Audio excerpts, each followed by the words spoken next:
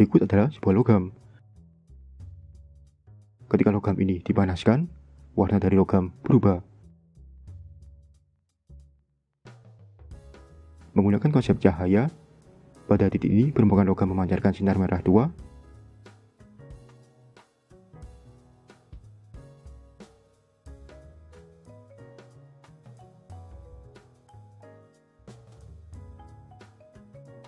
Pada titik ini, permukaan logam memancarkan sinar jingga.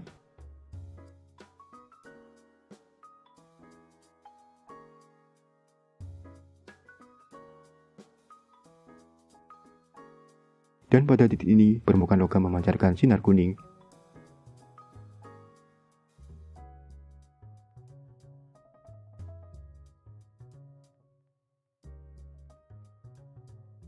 Berdasarkan percobaan, Ternyata warna yang dipancarkan oleh permukaan logam bergantung dengan temperatur pada permukaan tersebut.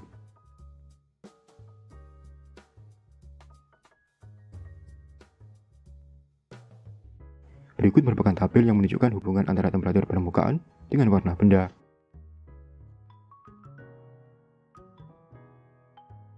Dari sini, warna merah tua menunjukkan bahwa temperatur dari permukaan logam berada dalam interval 500 hingga 700 derajat Celcius. Warna jingga menunjukkan bahwa temperatur dari permukaan logam berada dalam interval 900 hingga 1000 derajat Celcius. Warna kuning menunjukkan bahwa temperatur dari permukaan logam berada dalam interval 1000 hingga 1100 derajat Celcius. Dengan kata lain, warna dari suatu radiasi dapat menunjukkan temperatur dari benda tersebut.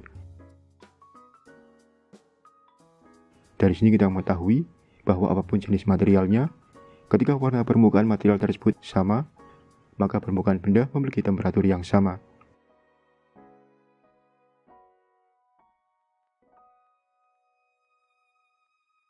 Konsep ini dapat diterapkan untuk mengukur suhu tubuh.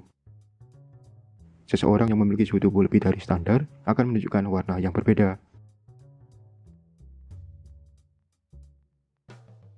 Sebagai kesimpulan, Fenomena suatu benda memancarkan beragam sinar ketika dipanaskan dikenal sebagai radiasi benda hitam. Yap, semoga tutorial ini dapat memberikan gambaran mengenai radiasi benda hitam. Jangan lupa untuk like, share, dan subscribe.